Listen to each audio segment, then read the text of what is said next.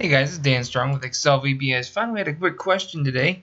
Uh, we were asked how in a user form, which I'll go ahead and pull up a user form and basically just put a text box in here. Uh, this person said that they had a text box, let's just say it was called TB date, like this. And whenever the user form began, not a click, let's do a user form initialize. Basically, in the user form initialize, when the user form opens up, they have they know how to do something like me, me being the user form itself, me dot tb date, the, the text box we just did, equals date. So date is uh, VBA's default thing for basically today's date. So if I ran this user form uh, when it initializes, this text box right here would be equal to today's date. So I'll show you that. And sure enough, it pops into the text box just fine. I'm going to close it out. But what he wants it to do is to go to Monday so today is Tuesday, but he wants it to go to the beginning of the current week. So what, what we're going to do in this case is we'll just do a very simple loop that's going to, if today's date, if today's weekday is not equal to, let's see, what would Monday be? Sunday is 1, Monday would be a 2. So uh, if it's not equal to, the weekday of today's date is not equal to 2, uh, then take today's date and minus 1 and we'll just loop that until it works out. So let's just show you that. So instead of doing this, let's say we'll just put, uh, uh, we'll use a variable like my date. That way we can play around with this. My date equals, start out with today's date and we'll analyze it. So forget this right here. So we can say if this variable that contains a date, if that one currently it would just be today's date, so we want the weekday. Let's, is that a, I'm not sure if that's a built-in uh, VBA thing, or oh, so I didn't know if I needed to put application dot worksheet function dot, or if it's just a built-in one. It looks like it's a built-in one. So it'll this will give me the weekday of that, and by default, uh, Sunday is the first day of the week. So you can say if weekday of that equals uh, you could say VB Monday, it looks like.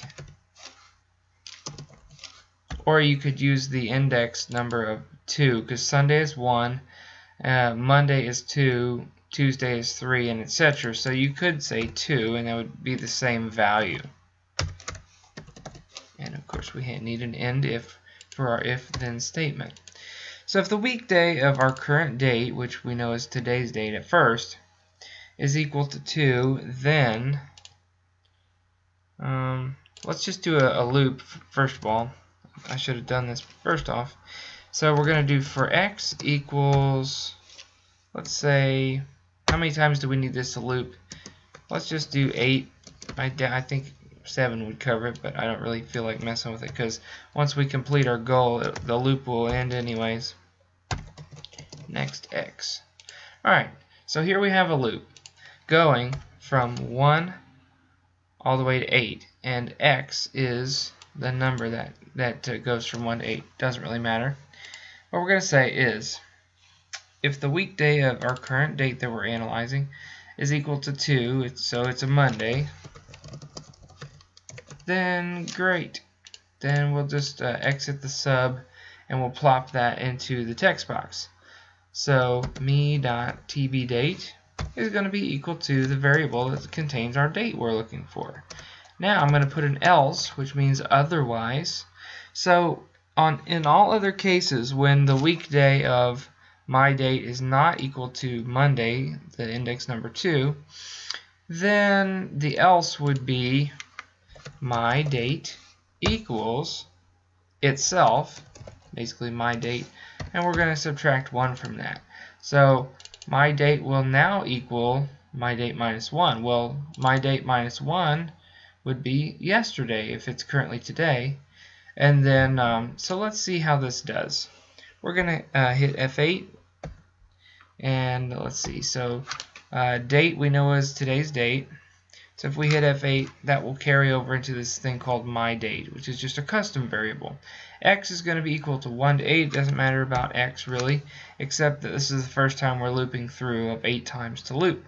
So the weekday of my date, um, So let's see, is that 2? No, it isn't, so it goes to the else. So my date is going to be equal to itself minus 1, which would be 223 of 2015. And sure enough, it subtracts one whole day from there. So now my date is different. So is the weekday of that one a Monday or equal to 2? Let's see. Yes, yesterday was Monday. So all we have to do is, and actually I need to exit sub at that point. And exit sub just basically tells your macro to not keep looping for no reason, but rather the, to just skip to the ending right here. So the text box is going to be equal to the current date we're looking at, and that's it. Now, Monday will show up. So that's basically how to do that. Um, uh, just for fun, let's jazz it up with a couple labels here. Since this is such a short lesson, I'll just say Monday here, uh, or let's say, we'll say date, and then let's put like a label right here that will put whatever the name of the weekday is that we select whenever we do any changing on this. So let's put a change event in here, and we'll say on error, resume next. That means if anything weird is happening, we'll uh, just keep on going basically. So we're going to just analyze the date that's in that text box there over into that label, which I need to give a nice friendly name, I think. We'll call LBL weekday for a label for the weekday. Alright, so whenever this is this text box, any changes occur, we're going to reanalyze and see if we can get the uh, weekday. So we can uh, we can do that one of a couple ways. We're going to say uh, me dot label weekday is equal to uh, we'll use the format function. We want to format whatever is in me dot text box date. So whatever the date is, we want to format that comma. And here's the formatting. Put a quotation mark, and let's just do uh, if you put day, D for day, so put D, D.